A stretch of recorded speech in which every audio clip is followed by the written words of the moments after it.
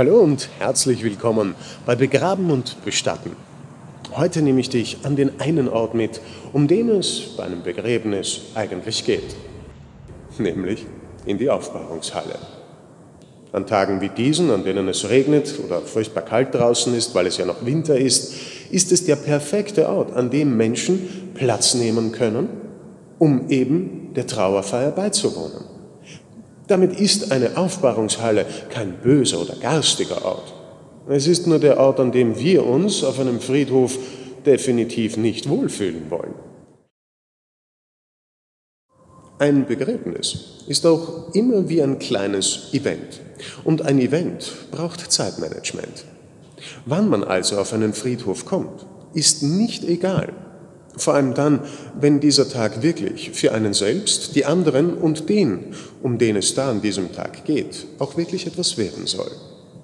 Bist du zum Beispiel der Auftraggeber? Sollte der erste Weg auf den Friedhof dich hierher führen? An einem Pult wie diesem wird er oder sie auf dich warten. Der Arrangeur dieser Halle oder der Inhaber des Bestattungsinstitutes, dem du dein Vertrauen geschenkt hast, oder ganz einfach ein Mitarbeiter von ihm oder ihr. Gemeinsam werdet ihr noch einmal den Ablauf des Begräbnisses besprechen. Darüber reden, wie zum Beispiel die Dekoration gelungen ist, ob noch irgendetwas fehlt oder vielleicht noch ein Kranz hinzubestellt worden ist, der innerhalb der nächsten halben, dreiviertel Stunde noch kommen wird. Es können auch gewisse neue Prämissen auftreten, wie beispielsweise, dass irgendjemand anderer als Priester oder Grabredner ebenfalls ein paar Worte wird sprechen wollen.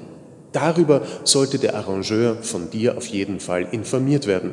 Vielleicht ist es ja auch ein Familienmitglied, wie die kleine Enkeltochter, die noch etwas vorlesen möchte, ein Gedicht vortragen oder auf ihrer Flöte spielen. Hm? Wenn du also der Auftraggeber des Begräbnisses bist, sei so gut und sei bitte mindestens eine halbe bis dreiviertel Stunde vor Beginn des Begräbnisses am Friedhof anwesend. Wenn du auch selbst noch ein wenig Ruhe haben möchtest, hier in dieser Halle selber ankommen möchtest, um Platz zu nehmen und auch ganz persönlich deinen Abschied von ihm oder ihr zu nehmen, sei vielleicht sogar noch ein wenig früher hier. Mein heißer Tipp, nicht mehr als 60 Minuten, denn je nach Region, je nach Friedhof und je nach Halle ist die Bestattung mitunter bis 60 Minuten vor Beginn des Begräbnisses noch dabei, diese Halle hier für dich und euch herzurichten. Lass sie bitte dabei in Ruhe, denn mitunter haben sie es da sogar noch recht eilig, um noch kleine Wunder zu wirken. Wenn du aber eben zum Beispiel Gast dieses Begräbnisses bist, überlege dir bitte, wie viel Zeit du für alles brauchst. Zeit, um selbst hier anzukommen, am Friedhof, in der Halle und von ihm oder ihr mit dem ersten Blickkontakt Abschied zu nehmen. Überlege dir aber auch, wie viele Personen werden denn zu diesem Begräbnis kommen? Wie viel Zeit hast du hier, um sie vielleicht in Ruhe und Stille zu verbringen? Und wie viel Zeit benötigst du, um vielleicht auch mal allen wieder Hallo zu sagen? Ja, Begräbnisse führen Menschen zusammen. Mitunter auch Familien, die sich nicht bloß durch Corona, sondern eben auch durch familiäre Umstände schon lange nicht mehr gesehen haben. Vielleicht wollt ihr miteinander plaudern, miteinander reden, über die gute eure Zeit mit ihm oder ihr. Nehmt euch auch dafür Zeit. Also sei als Gast nicht unbedingt derjenige, der erst zehn Minuten bevor es losgeht auf den Friedhof kommt und erwarte dann, dass du alle Hände schütteln kannst, vor allem alle Hände derer, die hier vorne in der ersten Reihe sitzen werden. Denn mitunter kann es durchwegs passieren, dass eine Aufbahrungshalle so klein wie diese ist und in Nicht-Corona-Zeiten sich 50 bis 70 Leute hier auf diesem Friedhof mitunter drängen. Stell dir vor, du versuchst dann noch fünf oder zehn vor Punkt hier hereinzukommen, wenn schon alle längst ihren Platz eingenommen haben und hier herinnen stehen, um der Familie in der ersten Reihe, genauso wie alle anderen, zu kondolieren. Mitunter passiert es dann sogar, dass schon der Priester oder der Redner neben dir steht, um hier nach vor vor den Sarg zu treten und mit der Zeremonie zu beginnen. Auch das gehört zum, sagen wir mal, guten Benehmen eines guten Trauergastes, dass er weiß, wann er da sein soll. Mein heißer Tipp, spätestens ab halb solltest du hier sein. Sagen wir aber, dass du ebenfalls etwas zu diesem Begräbnis beitragen möchtest. Zum Beispiel einen eigenen Kranz oder ein eigenes Gesteck. Bitte sei dann genauso rechtzeitig da wie die Familie.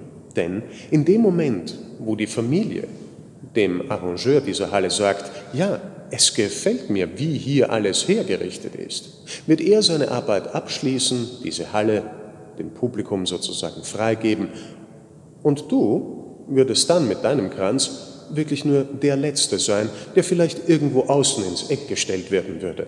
Wenn es aber nämlich der Kranz ist, der ein ganz besonderes Meisterwerk darstellt oder einen ganz persönlichen Bezug zu dem oder der Verstorbenen hat, sollte er eigentlich mehr hier vorne in der Mitte stehen.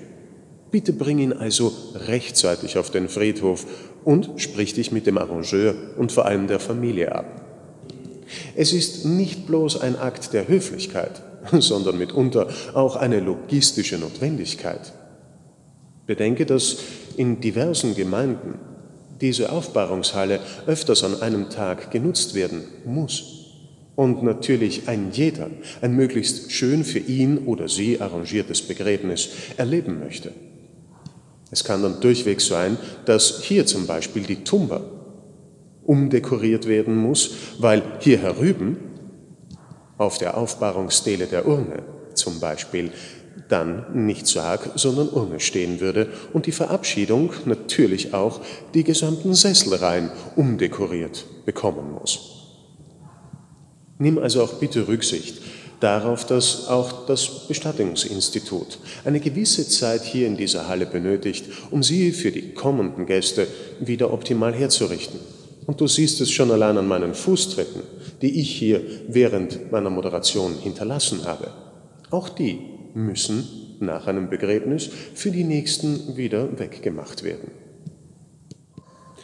Bedenke bitte, dass du es an diesem Tag mit Profis zu tun hast, die dir nicht bloß ihre Dienstleistung verkauft haben, sondern wirklich ihre Hilfe anbieten. Lass dir helfen.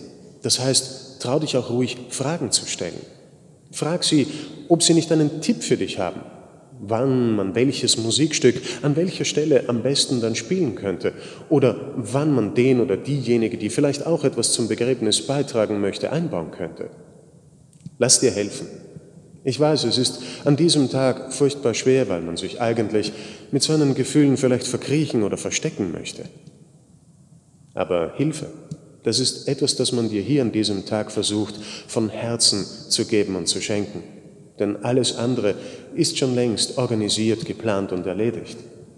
Ein Begräbnis aber zu einem schönen zu machen, das ist ein ganz persönliches Anliegen.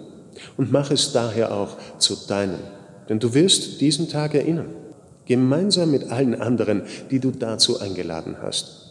Mach ihn für dich, mach ihn für euch zu einem schönen. Und mach dich daher zu einem emanzipierten Kunden im Thema Begraben und Bestatten. Denn wir alle wissen nicht, wann unsere Zeit abläuft, außer dass sie wie eben während eines Begräbnisses schon längst zu ticken begonnen hat. Also, alles Gute und bis zum nächsten Mal. Und wie immer, mach mal keine Arbeit.